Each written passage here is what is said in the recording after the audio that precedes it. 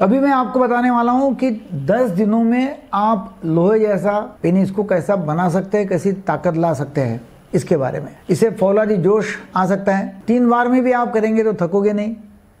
ये चीज़ें आप खाते हैं, तीन चीज़ें हैं तो इसमें जड़ से ढीलापन खत्म हो जाएगा। जोश, जुनून, ताकत, स्टेमिना सभी बढ़ जाएगा। होता क्या है कि 18-20 साल में बहुत ताकत रहती है।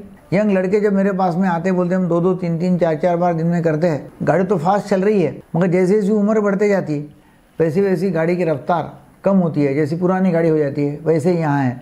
और फिर रफ्तार कम हो गई तो फिर क्या होता है कि मज़ा नहीं आती है। लोग बोलते हैं नहीं यार, मज़ा नहीं आ रहा है अभी। फिर एक रेसिग्नेशन आता है, उदासीनता आती है कि कुछ नहीं हो सकता। स्त्री भी है, वो भी थक जाती है, इच्छा भी उसकी कम हो जाती है। ऐसे इसमें करे क्या? इसमें ऐसा है कि इंजन जो है आपका, जो अभी ढीला हो गया है, जो थक गया है, अभी उसको ज़रा फाइन ट्यून करना पड़ेगा। अब अनेक सालों से, सैकड़ों, हज़ारों साल से आयुर्वेदा में ये जो टेक्निक है, जिसको साइंस भी मानता है, वो एक नेचुरल वे से ऊर्जा बढ़ाने वाला टेक्निक मैं आपको बताने वाला हूँ। इसमें तीन चीज़ें हैं। नंबर एक नंबर एक है शिलाजीत। शिलाजीत साथ में खजूर। ये क्या है कि शिलाजीत ये बैटरी चार्जर है। खजूर जो है तो खजूर से ताकत बढ़ती है और शुक्राणु का काउंट जो है नंबर वो बढ़ता है। तो आपने करना क्या है कि मटर दाने इतना शिलाजीत लेना है और गुनगुने दूध में उसको मिलाने का है, उसमें मिलाना है। तीन खजूर काट के डालना है और उसको अच्छा मिक्सी में घुमाओ पेस्ट करो और खा डालो। इससे क्या होता है? इसमें टेस्टोस्टेरॉन लेवल मतलब सेक्स हार्मोन जो है, वो बढ़ते हैं। लोग पूछते हैं कि भाई इसका जो पेस्ट नीचे है या खजूर नीचे बैठ गया है समझो तो क्या उसको चबा लेने का है। ये जो है शिलाजीत तो इससे क्या होता है, इससे एनर्जी स्टेमिना बढ़ता है, दिन भर आप बहुत एक्टिव रहते हैं। शिलाजीत से स्पर्म क्वांटिटी क्वालिटी मतलब शुक्राणु की गुणवत्ता बहुत अच्छी बढ़ जाती है। आप डेली एक बार ही ले सकते मटर दाने इतना शिलाजीत, एक गिलास दूध और तीन खजूर, दिन में एक बार। और आप यदि कुछ हफ़्ते तक लेते हैं तो आपको फ़ायदा दिखना चालू हो जाएगा, दस दिन में आपको फ़ायदा दिखना चालू हो जाएगा, मगर ये आप काफ़ी दिनों तक ले सकते हैं। दूध और शिलाजीत जो है ना, वो असली होना चाहिए। क्योंकि यदि दूध में केमिकल्स मिलाए, दूध रहा तो कुछ फ़ायदा होगा नहीं। प्योर दूध होना चाहिए, उससे ज़्यादा फ़ायदा होता है। फिर दूसरा जो है, वो है अश्वगंधा। अश्वगंधा और मिल्क, इसका मिश्रण।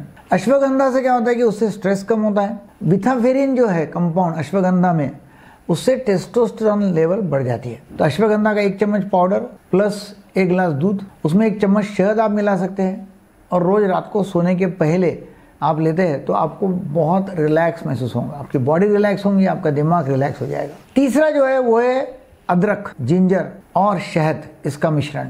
कहते हैं कि अदरक जो है, वो सर्कुलेशन इंप्रूव करता है पेनिस में का। और अदरक से क्या होता है कि लंबे समय तक धीरे धीरे धीरे धीरे फ़ायदा होता है, मगर सस्टेनेबल फ़ायदा होता है। समझो पानी का एक आधा पाइप ब्लॉक हो गया तो कैसा धीरे धीरे वो निकल सकता है तो वैसा ये धीरे धीरे धीरे फ़ायदा हो जाएगा। हनी जो है, शहद वो है नेचुरल एफ्रोडाइजियाक है। मतलब कुदरती सेक्स बढ़ाने वाला ये सब्सटेंस है।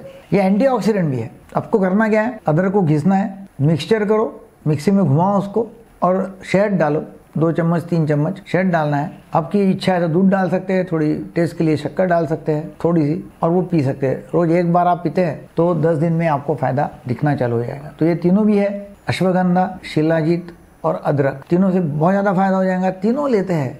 तो बहुत फ़ायदा आपको दिखेगा। आपके कमेंट्स का मैं इंतज़ार करूँगा। ज़रूर आइएगा वीडियो आपको अच्छा लगा तो ज़रूर शेयर करो लाइक करो सब्सक्राइब करो। Thank you very much